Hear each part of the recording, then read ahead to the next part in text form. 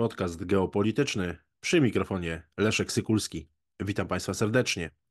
Kiedy prezydent Andrzej Duda wraz z małżonką mm, w wieczorem 4 lutego 2024 roku przybyli do stolicy Kenii e, Nairobi, e, nikt się nie spodziewał, że z tej no, z pozoru niepozornej wizyty na kontynencie afrykańskim, już piątej, e, piątej w historii tej prezydentury, zrobi się skandal dyplomatyczny od niewinna, można powiedzieć, spokojna wizyta w trzech państwach afrykańskich, obok e, Kenii, jeszcze w Rwandzie i e, w Tanzanii, której celem było, miało być promowanie Polski, polskiego biznesu, a także, jak napisano na oficjalnej stronie e, prezydenta, informowanie o sytuacji w naszej części Europy. No, to oczywiście Doskonale wiemy, co się za tym e, kryje, czyli no, forsowanie pewnej e, narracji na temat wojny na Ukrainie, która jest zbieżna z linią Waszyngtonu. Natomiast z tej, no, tak jak powiedziałem, wydawałoby się spokojnej, spokojnej wizyty na, na Czarnym Lądzie zrobiła się niemała afera jeśli chodzi o mm, Afrykę, co pokazuje, jak w soczewce, jak słabo, jak e, mało profesjonalnie e, funkcjonuje zaplecze eksperckie państwa e, polskiego. Te demonstracje, które obserwujemy w tym tygodniu, w mijającym tygodniu w stolicy Demokratycznej Republiki Konga, w Kinszasie, gdzie tłumy protestują przeciwko zachodnim rządom, e, pewnie przeszłyby nie, całkowicie niezauważone, jeśli chodzi o nasz kraj, gdyby nie to, że pojawiły się również protesty, transparenty przeciwko Polsce. Tak, szanowni państwo, w stolicy Demokratycznej Republiki Konga, Kinszasie, e, lokalni mieszkańcy protestują przeciwko Polsce i to po wizycie prezydenta Andrzeja Dudy właśnie w Afryce. Dlaczego tak się dzieje? Y, ten protest y, pokazuje, czy, czy chce pokazać, że Polska no, w osobie y, prezydenta Andrzeja Dudy przyjęła postawę dwulicową. Postawę mm, taką powiedzielibyśmy hipokryty, który z jednej strony mówi o pokoju, mówi o konieczności obrony praw człowieka i tak dalej, a z drugiej strony popiera Rwandę. Popiera Rwandę y, i popiera działają, działających na wschodzie na wschodzie kraju, y, czyli na wschodzie Demokratycznej Republiki Konga, rebeliantów wspieranych przez, przez Rwandę właśnie, której to, pomo której to wsparcia udzielił Andrzej Duda. Tak na to patrzą Kongijczycy, tak na to patrzą obywatele Demokratycznej Republiki Konga. O co w tym wszystkim chodzi? E, ten film, e, który krąży po internecie z mężczyzną trzymającym e, transparent z, z napisem, no, takim w wolnym tłumaczeniu, Polsko wynoś się z Demokratycznej Republiki Konga, tak naprawdę odnosi się do tej wizyty prezydenta Dudy z 7 y, lutego, kiedy w Kinszasie, y, kiedy w Kinszasie trwały zamieszki, wtedy prezydent Duda y, odwiedził sąsiednią Rwandę, z którą podpisał dwie umowy gospodarcze ze swoim rwandyjskim odpowiednikiem, mówiąc o tym, że Polska potrzebuje wiarygodnych partnerów w krajach Afryki, którzy wyznają wspólne wartości i tak dalej, i tak dalej. Mówił o przyjaciołach w Rwandzie, o, o zrozumieniu wzajemnym i tak dalej, i tak dalej. Natomiast no, w Demokratycznej Republice Konga uznano zupełnie e, ten fakt, tę te, te, wizytę zupełnie inaczej. To znaczy, y, oskarżono Polskę o wspieranie Rwandy, która wspiera rebeliantów z tak zwanego ruchu M23. Ruch M23 to są rebelianci, y, którzy od ponad już 10 lat, od ponad dekady walczą o kontrolę y, nad wschodnimi terenami kraju, bogatymi w minerały. Tutaj oczywiście nie ma żadnych e, co do tego wątpliwości, chodzi o konkretne zasoby geograficzne.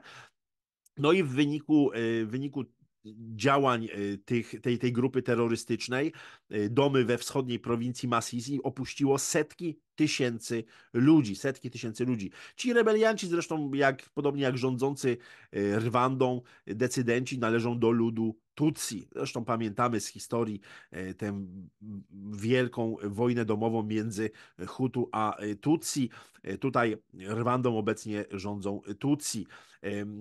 Warto także zauważyć, że mm, te, to, to porozumienie o w, gospodarcze, o którym mówił prezydent Andrzej Duda, zostało odebrane przez Demokratyczną Republikę Konga jako porozumienie o uzbrojeniu i wzmocnieniu zdolności logistycznych.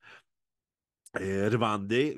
MSZ Demokratycznej Republiki Konga bardzo mocno skrytykował polsko-rwandyjskie e, umowy. Zresztą w tej oficjalnej nocie e, możemy przeczytać o, cytuję, dwulicowej E, postawie Polski, e, która z jednej strony poparła Demokratyczną Republikę Konga na Zgromadzeniu Ogólnym e, ONZ, wtedy kiedy oskarżano Rwandę o agresję i o wspieranie terrorystów z M23, natomiast z drugiej strony, no właśnie, wspieranie, drugą ręką, że tak powiem, wspieranie logistyczne, logistyczne rządu, który wspiera rebeliantów z M23.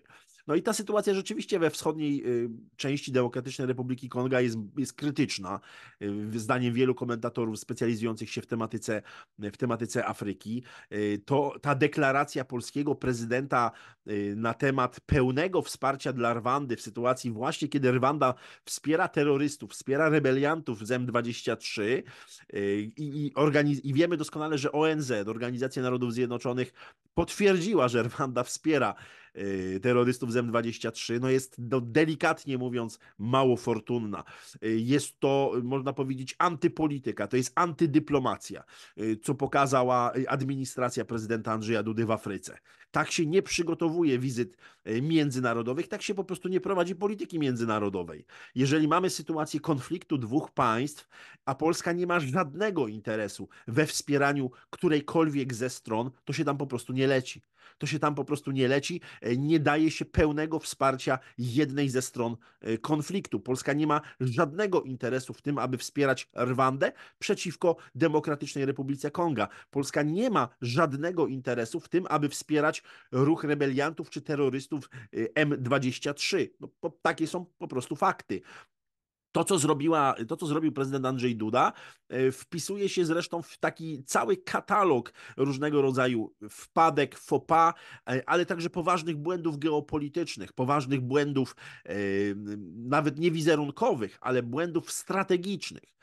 Takie bezwarunkowe wspieranie Ukrainy jest też niczym innym jak brakiem odpowiedniego wsparcia eksperckiego, brakiem odpowiedniego zaplecza eksperckiego. No bo nie mówimy oczywiście o zapleczu skupionym, skupionym skupiającym rusofobów e, i, i wszelkiej maści innych właśnie pseudoekspertów, którzy będą za każdym razem podszeptywać politykę zbieżną z linią Waszyngtonu.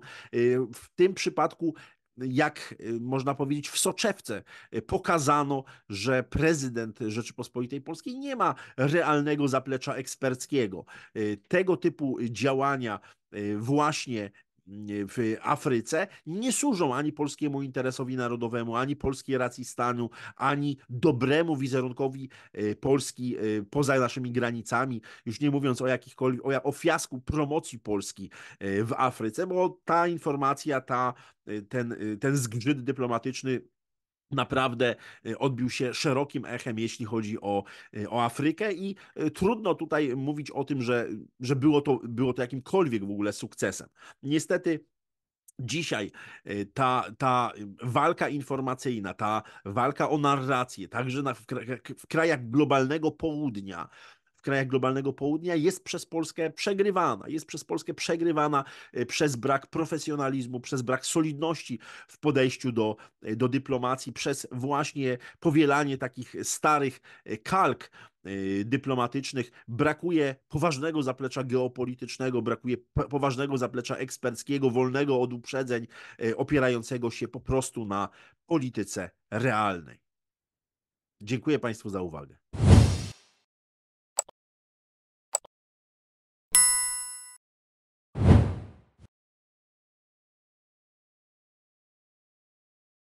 Szanowni Państwo, zapraszam Państwa serdecznie do odwiedzenia księgarni geopolitycznej, gdzie w sprzedaży jest już drugie wydanie mojej książki zatytułowanej Geopolityka a bezpieczeństwo Polski.